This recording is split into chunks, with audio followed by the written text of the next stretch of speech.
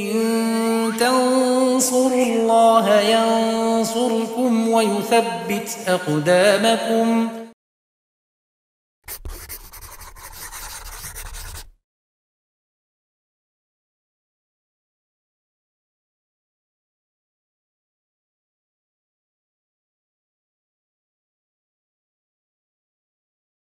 Bismillahirrahmanirrahim. Alhamdulillah salatu wassalamu ala Rasulillah wa ala alihi wa sahbihi wa man tabi'ahum bisanin ila yaumil amma ba'd. Pemirsa UWT Edu rahimani wa rahimakumullah, kita lanjutkan pelajaran kita masih di pembahasan salat-salat sunnah. Ya, sedikit kita sampaikan tentang salat witir. Wa summal al witir, kemudian urutan berikutnya salat witir wa aqaluhu raq'atun wa aqaluhu raq'atun wa aksaruhu ihda asyrata wa waqtuhu baina salatil isya wa tulu'il fajar. Wa ta'khiruhu ba'da salatil lail aw li akhirih idza kana yastaiqizu afdal. Wa yajuzu wasluhu bitasyahudin aw bitasyahudaini fil akhirataini.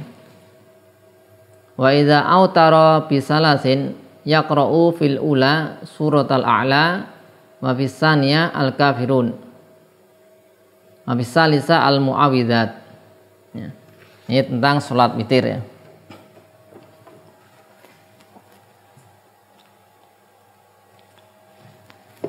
Sholatul witir.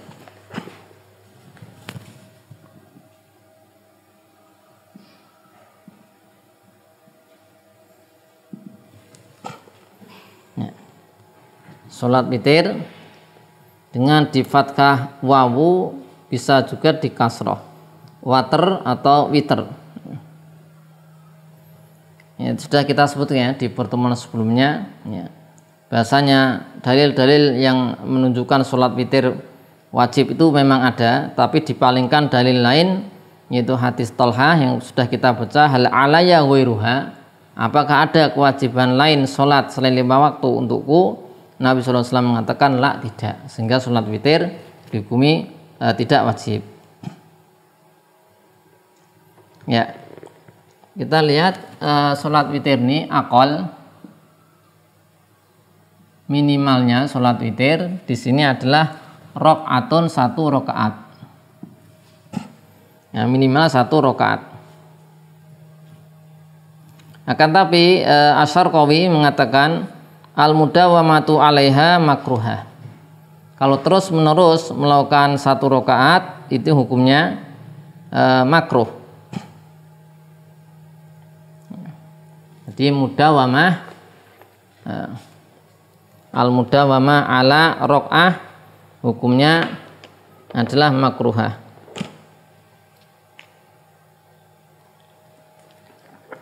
beberapa masalah? Yang pertama al mudawama ala rokah.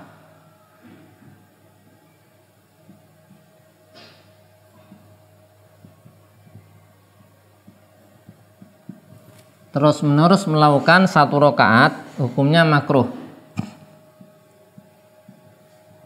Ya, masalah pertama terus menerus satu rokaat makruh. Kemudian masalah kedua launa wa alwitra wa atlaqo seandainya dia niat witir. Wa atlaqo dan tidak meniatkan jumlah rokaatnya berapa. Maka hamalahu ala mayuritu hamalahu ala mayuritu maka dibawa pada yang diinginkan berapa? Ya nanti diselesaikan sesuai dengan keinginannya ini menurut Ibnu Hajar Al-Haytami. Ini menurut Ibnu Hajar.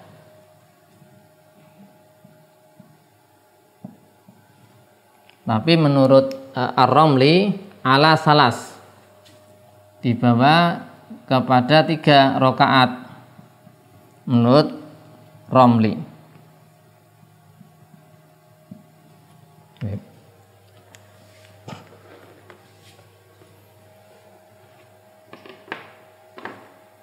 Kemudian uh, masalah yang ke uh, berikutnya. Launa zoro al witar seandainya orang bernadar sholat witir. Launa zoro nazaro.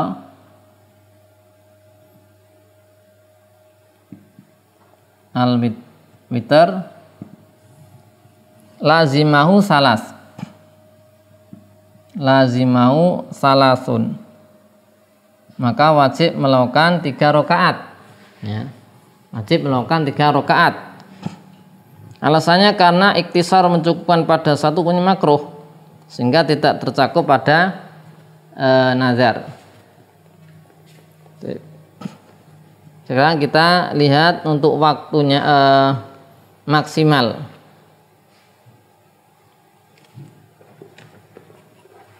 Ini minim, e, minimalnya satu rakaat maksimalnya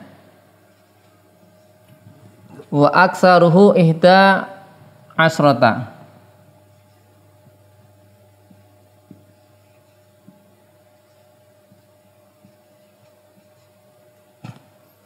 ihda asrota maksimal jumlah rokat witir adalah ya 11 ya witir maksimal 11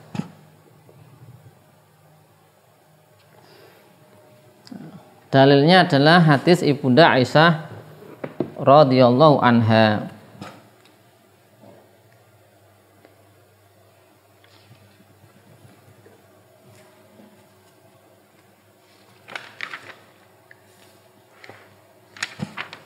Ya.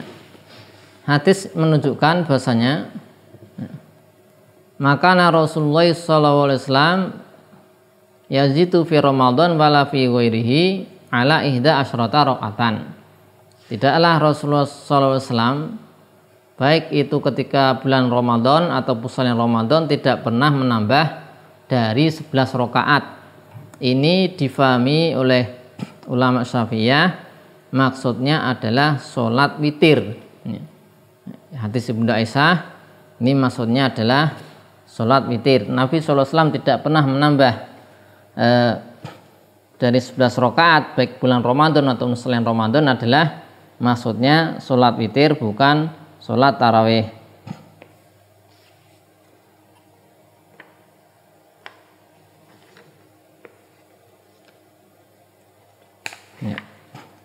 Ada hadis lain dari Bunda Aisyah radhiyallahu qalat inna Rasulullah sallallahu alaihi wasallam kana yusolli ihda asyrata rakaatan. Rasulullah sallallahu alaihi wasallam salat 11 rakaat. Karena tilka solatahu Itulah solatnya Nabi Takni bilail yaitu qiyamul lail Fayas sutu asa jadata min dzalika qadra ma yaqra'u ahadukum khamsina ayah Nabi SAW sujud satu kali sujud seukuran eh, kalian membaca 50 ayat qabla an yarfa'a ra'sahu sebelum mengangkat kepala beliau. Wa yarka'u raq'ataini qabla salatil fajar dan uh, sholat dua rakaat sebelum sholat subuh. Sumaya tojiu ala syiqihi al aiman hatta ya'tiyahu al muadzin li sholah. Kemudian Nabi SAW berbaring miring di atas sisi yang kanan sampai muadzin uh, uh, mengumandangkan azan untuk sholat. Dan di riwayat Muslim karena yusoli salasa asyrota rokaatan. Riwayat Muslim Nabi SAW sholat 13 rokaat yusolli samani uh, rokaatin summa yutiru Nabi SAW sholat 8 rokaat kemudian witir summa yusolli rokaat ini wahwa jalis kemudian beliau sholat 2 rokaat dalam keadaan duduk Fa'idha arada an yarka'a koma faroka kemudian uh, kemudian Nabi SAW ketika ingin uh, sholat maka beliau berdiri sholat Suma yusolli rokata ini bayana nida wal iqamah. Suma sholah e, minas sholat subhi. Kemudian sholat dua rakaat antara adzan dan iqamah dari sholat subuh. Di riwayat yang lain kanat sholatu Rasulillah sallallahu alaihi wasallam minal lail asyara rakaatin. Salatnya Nabi Sallallahu Alaihi Wasallam di malam hari 10 rakaat wayu yutiru bisa jedatin dan witir dengan satu sujud. Ya, satu rakaat. Wayar kau rakaatil fajar dan sholat dua rakaat fajar. Watilka salah salah asyrata rakaatan itulah 13 rakaat yaitu sholat eh, 10 rakaat ya. Sholat malam 10 rakaat kemudian witirnya satu rakaat. Berarti kan 11 setelah itu beliau juga sholat dua rakaat fajar sholat sebelum subuh qobliyah subuh. Tambah dua berarti 13 rakaat. Di riwayat salah satu riwayat sebutkan la yajlisu fi syai'in illa fi akhiriha. Nabi SAW tidaklah duduk kecuali di rakaat yang terakhir kecuali rakaat terakhir ini maksimalnya adalah berapa eh, 11 rakaat Wa adnal kamal salas. Ya. Adnal kamal itu minimal sempurna. Ya. Ini sholat witir nanti minimalnya satu rakaat, ya kan? Kemudian yang sempurna, sempurna minimal, ya. adnal kamal ya. Adna al kamal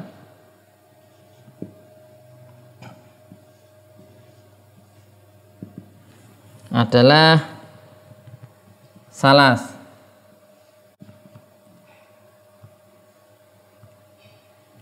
Salah rakaat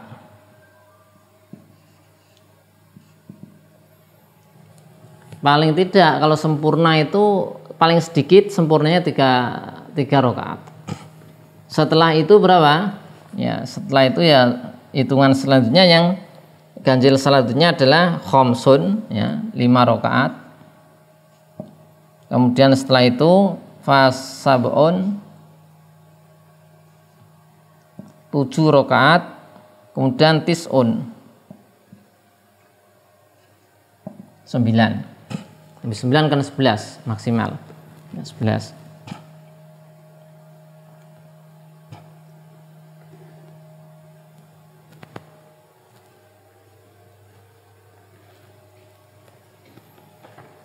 Baik. Ada pula yang mengatakan maksimalnya 13 rakaat karena hadis Ummu Salamah ya. Hadis Ummu Salamah kan tapi hadis Ummu Salamah dipahami bahasanya ada sholat sunnah isya ya dia isya sehingga 11 tambah 2 13 tapi kalau e, witirnya sendiri ini dipahami hanya 11 apa maksimalnya Kemudian uh, kita lihat sekarang waktunya. Wa waktu baina sholatil isya wa tulu'il fajar. Nah, sekarang waktunya kapan sholat witir itu? Kapan dimulai? Waktuhu.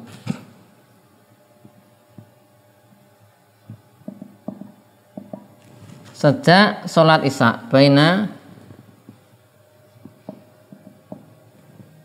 sholatil isya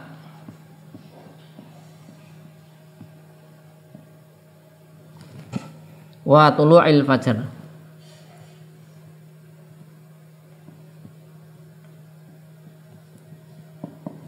ya. Jadi mengerjakan sholat witir ini setelah mengerjakan sholat isya, tidak bisa sebelumnya karena disebutkan baina sholatil isya uh, wa tulu'il fajar dan sebelum terbit fajar sotik subuh ya. Eh, ini dikaitkan dengan uh, pengerjaan sholat isya meskipun jamak takdim ya. misalnya ya di Busyara Kaim disebutkan walau jamaaha takdiman meskipun di jamak takdim kita mengerjakan sholat maghrib dan isya dalam satu waktu di waktu maghrib. Setelah selesai sholat isya, kita boleh sholat witir. Meskipun belum masuk waktu isya, tapi kan kita sudah mengerjakan sholat isya karena di jamak takdim. Ini rentang waktunya demikian. Uh, adapun waktu ikhtiar, ya, yaitu ila sulus lail fi hakim man la yurid atau tahajud. Ya. waktu ikhtiar pilihan sampai sampai sepertiga malam sepertiga pertama dari satu malam. Waktu ikhtiar.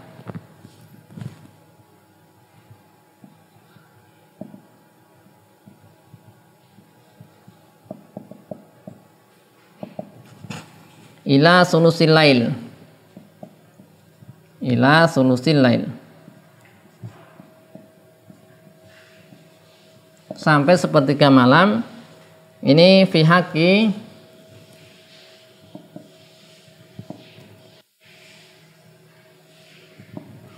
man la yuridu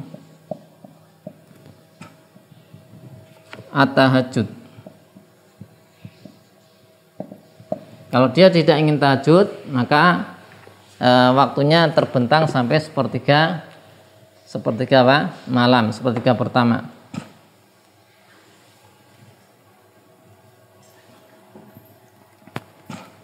Ya, di antara hadis yang mendasarnya adalah bahasanya e, waktu sholat witir setelah sholat isya sampai subuh fajar sotik adalah hadis ibunda Aisyah radhiallahu anha Qalat kana Rasulullah sallallahu alaihi wasallam yusolli ma baina an yafruga min salatil isya ilal fajri ihda asyrata rakaatan.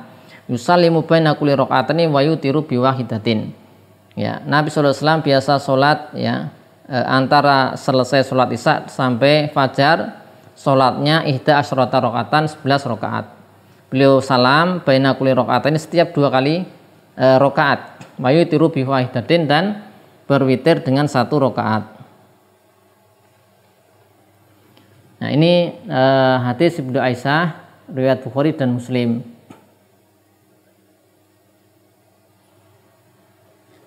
Kemudian juga uh, Kharijah bin Hizafah radhu anhu qol qala Rasulullah sallallahu alaihi wasallam inna Allah azza wa jal amadakum bi salatin wa hiya khairun lakum min humurin na'am wa hiya al-witru ja'alallahu lakum fima baina salatil isya ila an yatlu'a al-fajru di situ salat witir disebutkan khairun lakum min humuri an'am.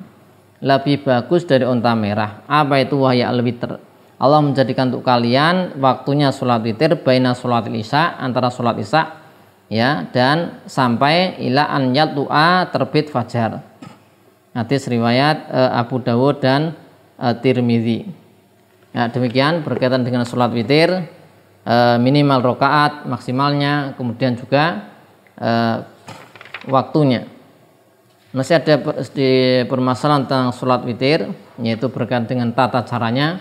Sama akan kita sampaikan di uh, sesi berikutnya. Wassalamualaikum warahmatullahi wabarakatuh. Wa ala alihi wa sahbihi wasallam. Alhamdulillahi rabbil alamin.